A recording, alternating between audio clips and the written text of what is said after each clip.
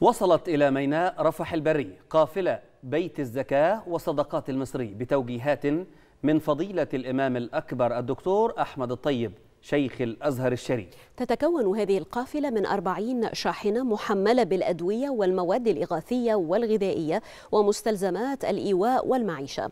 أوضح الأزهر الشريف أنه من المقرر أن تعبر هذه القافلة إلى الجانب الفلسطيني وذلك في إطار مشاركة بيت الزكاة مع صندوق تحيا مصر. في قافلة تحت شعار نتشارك من أجل الإنسانية التي أطلقتها الدولة تنفيذا لتوجيهات الرئيس عبد الفتاح السيسي.